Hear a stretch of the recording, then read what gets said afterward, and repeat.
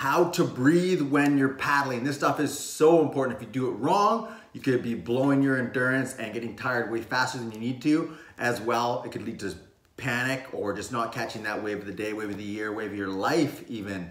So I'm gonna give you three tips. Two of them are breathing mechanics, which uh, you can fix right away. And the other one is something I call breathing rhythm, which takes a bit more time, but when you get it, um, the benefits are massive. So it's a little more advanced, but worth it. And when you get the mechanic part right, that stuff will come eventually. So the important part about this is just to make the most out of it. And the best way to fix your breathing is in training on home at land. Very first tip is a proper breathing pattern. So if I tell you to take a giant deep breath right now and you get taller and your chest puffs out, there's a, uh, there's a chance or 99% chance that you have inverted breathing, which is chest breathing. All that means is you're not taking a full belly breath, so you're only filling your lungs less than the full amount, let's say. And this becomes even more aggravated when you're paddling because you're laying on your board with that pressure on your diaphragm.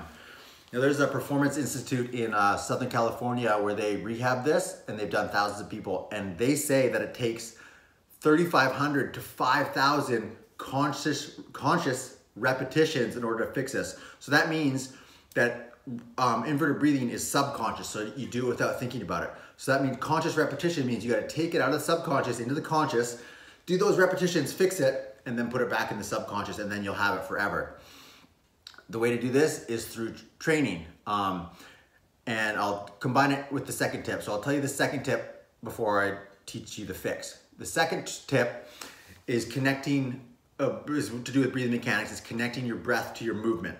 So a good rule of thumb is if you are getting, like say, you say you're doing a squat. So if you're coming down on the squat, getting lower and closer to the fetal position, you exhale. When you're getting bigger, in the fetal position, you inhale. Now I want you to think about when you add power to that thing. So if you were throwing a ball, you would exhale, right? Because that's your power. If you tried to throw a ball and inhale, it feels super, super weird. You could have half the power. So that goes into paddling because you got you, you can't have a power exhale on both because it just you'd be hyperventilating. You'd be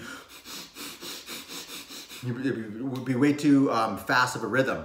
So you got to pick a side. So I call this weak side breathing. So you do the power breath, to exhale on your weak arm. So I'm right-handed, so my left hand is my weak arm.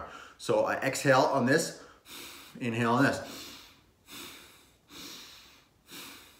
And that's just for paddling, right? So when you're paddling out, super, super simple. And the way to make sure you're doing this right, again, is through repetition.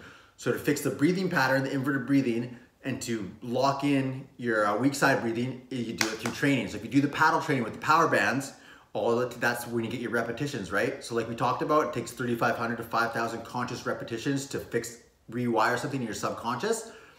Do that in your training. That's where it's gonna be done. In just a few weeks, if you are focusing on your breathing properly while you're doing your training, you're gonna re re rewire that super quickly. So you'll fix your inverted breathing, you'll be taking full lungs full of air while you're paddling out, laying belly down.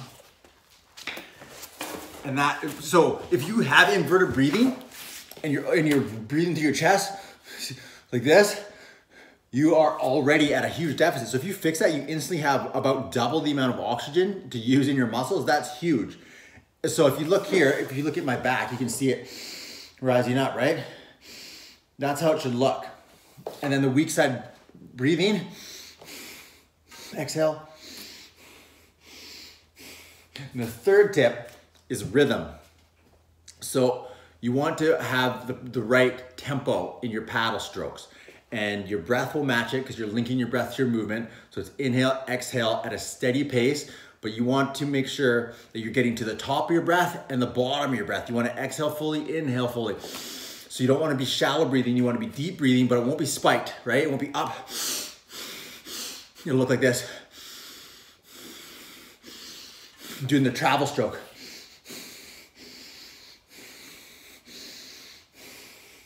Now the great part about this is when your movement has a rhythm and your breath has a rhythm, it'll start to match the ocean because the ocean has a rhythm too, depending on the swell, depending on the tide and all that stuff. But you you will you will start having your paddle strokes matching your duck dives. And if you've ever done any long distance running and you get into a rhythm and you don't even think about it and you don't even really realize that you're exerting yourself, you're just kind of in the zone, you can get to that place when you focus on breathing and movement together. And that's the more advanced side.